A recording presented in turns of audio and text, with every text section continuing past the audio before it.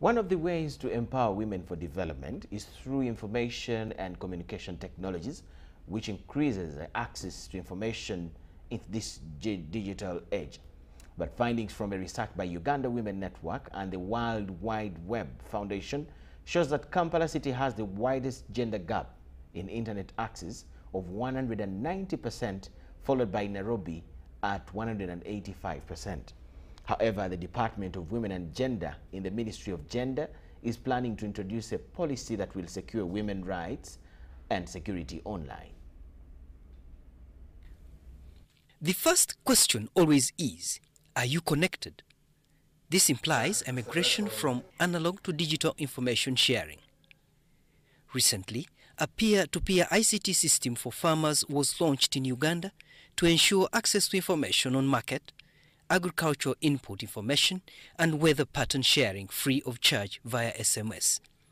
But a research carried out by WUGNET and World Wide Web Foundation shows that in Kenya, Uganda, Nigeria, Mozambique, and Ghana, women's rights online are violated.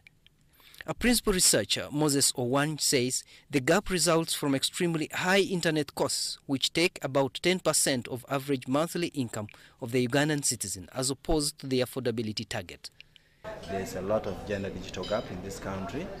Women uh, are not uh, benefiting from the opportunities that ICTs present uh, compared to their male counterparts. There are a lot of issues to do with access, issues to do with literacy, in terms of the skills to use and apply those technologies, in terms of issues of digital safety and security. Uganda Women Network has started engaging policymakers on the 2015 Women Right Online report. Findings from local government on internet access in the districts of Apach, Busia, Tororo, Palis and Amuria reveal that there are extreme inequalities in digital empowerment. We want to ensure that we advocate and ensure that uh, the, the, the, online violence that women face in, in, in Uganda, those few who are accessing internet also stops.